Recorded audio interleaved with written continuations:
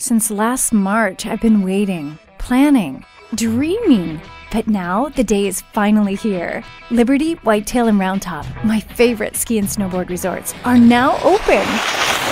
So I'm grabbing all my gear, gathering the family, and we're all headed to Liberty, Whitetail, Roundtop for a day of sun and snow. They're so close, we can get there in no time flat. And they've got great runs for beginners and pros alike. Plus, did you know that Liberty, Whitetail, and Roundtop are recognized nationally as the best place to learn to ski or snowboard?